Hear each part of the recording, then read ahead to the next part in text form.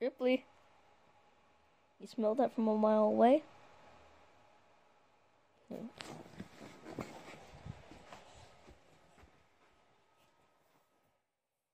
Who's a good girl? Are you a good girl?